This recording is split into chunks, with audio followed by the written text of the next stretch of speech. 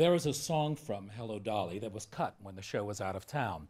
So we're going to do it for you now because you see, one day Horace Vandergelder found a penny. I put a penny in my pocket, and in a little time, that penny in my pocket had grown into a dime. And in a little longer, a quarter jingled out. I put that quarter in a teapot and I waited till the teapot had a dollar in the spout. I put that dollar in my mattress and had some pleasant dreams till suddenly my mattress was bursting at the seams. And that's how I acquired a Gramercy address.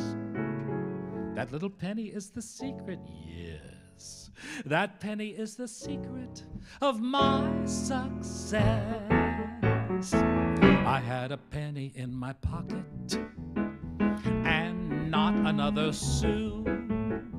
And with my only shirt tail, I shined a rich man's shoe. He tossed me down a nickel, admiring my skill.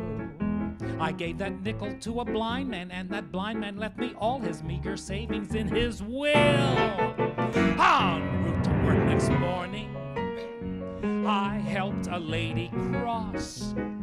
That lady was, ha, you guessed it, the mother of the boss. The boss said, You're promoted.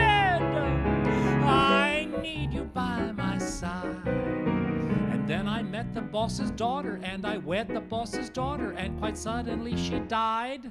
I bought myself an acre, a silo, and a steed. Old Yonkers started buying